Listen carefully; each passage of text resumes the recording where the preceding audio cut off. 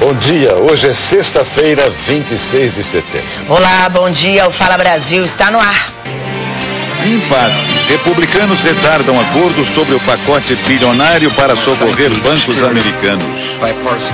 Mais um. Washington Mutual fecha com a maior falência bancária da história americana.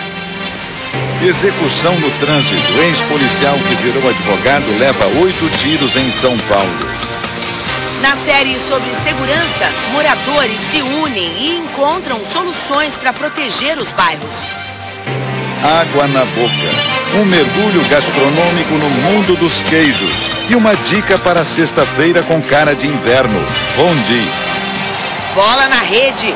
O Internacional consegue um bom empate na Copa Sul-Americana. Filme candidato ao Oscar abre o Festival de Cinema do Rio. Rock na Terra Santa. O ex-Beatle Paul McCartney toca em Israel 40 anos depois de ter sido barrado no país.